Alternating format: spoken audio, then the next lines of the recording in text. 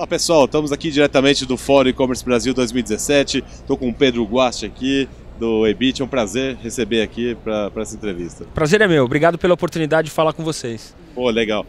É, queria falar um pouquinho do, do, do e-commerce, falar um pouquinho de performance, tem dados, números, enfim, tem, tem bastante coisa aí pra gente. A gente tem um tempo um pouco curto, então vamos, vamos, vamos focar, não, vamos focar em, em alguns temas, né? É, pensando um pouco na, na, na, comunicação, no marketing, como as empresas, os e-commerce é, podem entender aquele, aquele last click, aquela motivação, o que motiva é, os consumidores no, faz realmente o cara ir lá comprar depois de toda a campanha. Claro que não é só isso.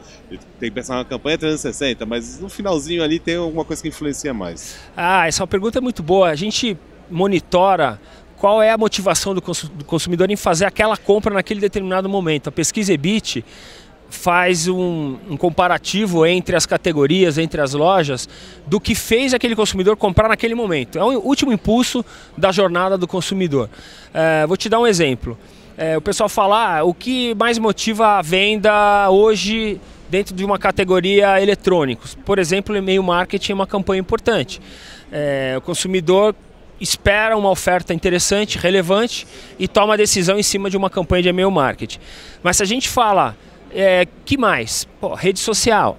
Rede social é, uma, é um influenciador muito importante, principalmente para categorias de moda e acessório, perfumaria e cosméticos, casa e decoração. É, Para você ter uma ideia, chega a 15, 20% é, de pessoas dizendo que compraram nas lojas porque viram um anúncio numa rede social. Muito bom, muito bom. A gente falou de e-mail marketing em outras entrevistas aqui no, no, no, no fórum, entre ontem e hoje, é, e todo ano a gente ouve e-mail marketing vai acabar, né? E parece que não, é realmente um motivador para as pessoas comprarem. Né? O e-mail marketing bem utilizado, respeitando as regras, as boas práticas, não, não fazendo uso de spam, é, mandando mensagens relevantes, segmentadas para sua base de clientes, principalmente se você já construiu, você é uma loja virtual que já tem uma base de mil, dois mil, dez mil, cinquenta mil clientes que já compraram com você, é uma ferramenta poderosíssima.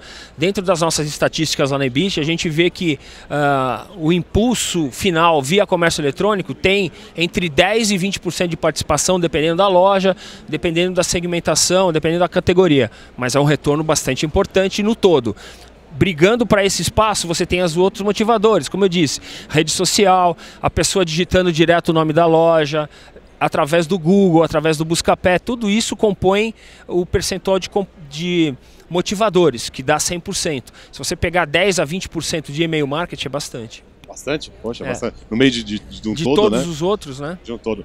É, bom, é, na hora que o consumidor decidiu o produto que ele vai comprar e vai decidir a loja, entra muito a questão confiança, né? Como que eu vou confiar naquela loja? As grandes marcas é, têm menos problemas talvez com isso, mas as, as pequenas e, e, médias empresas, é, para concorrer com, com, os grandes ali, o Ebit tem um, tem um selo, né? Vocês fornecem uma... É, a gente sempre trabalhou com reputação. Tá. A loja virtual que tem melhor reputação, ela consegue ter uma conversão maior o consumidor abandona menos carrinho de lojas que têm selo de certificação. Nós desenvolvemos a certificação EBIT.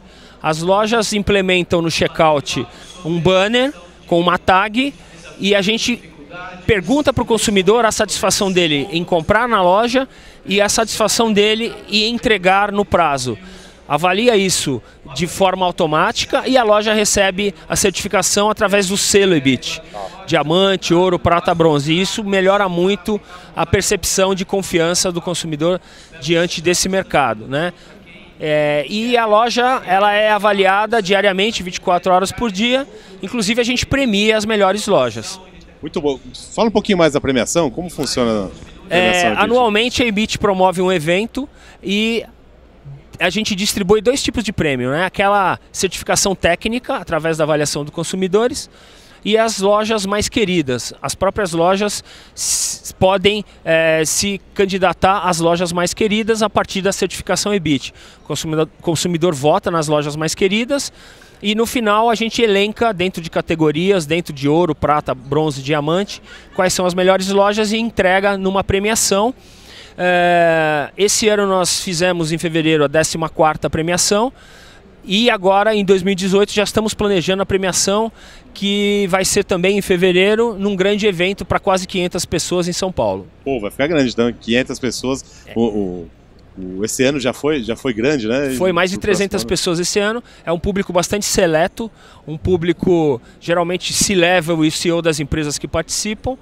e a gente tem é, oportunidade para as empresas que querem, é, que estão nesse ecossistema do e-commerce, é, participar com patrocínios também.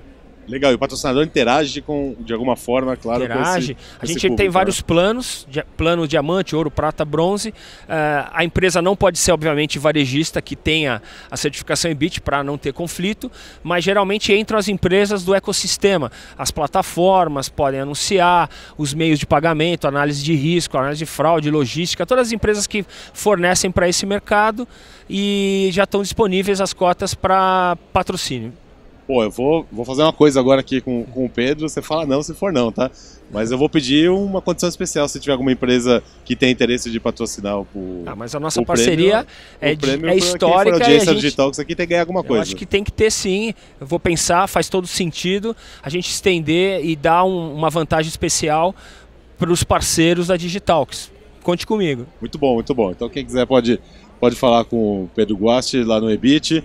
E, pô, vamos fazer esse prêmio crescer cada vez mais, que já está com o público de 500 pessoas, já é um super evento. É premiação, é uma festa do, lados, né? do Oscar brasileiro do e-commerce. E deixa o mercado muito melhor, né? Você claro. dá, dá, prêmio para as empresas que são que têm excelência, que né? são reconhecidas pelo consumidor. Pelo próprio consumidor. As outras, as outras lojas querem vir atrás depois e o mercado fica bom tanto o mercado, o ecossistema de e-commerce, como para o consumidor. Né? Isso mesmo, muito bom. Muito bom. Obrigado, Pedro. Obrigado. Esse foi o Pedro Guache do, do Ebit. Continuamos aqui no evento fazendo as entrevistas. Abraço, um abraço. a todos.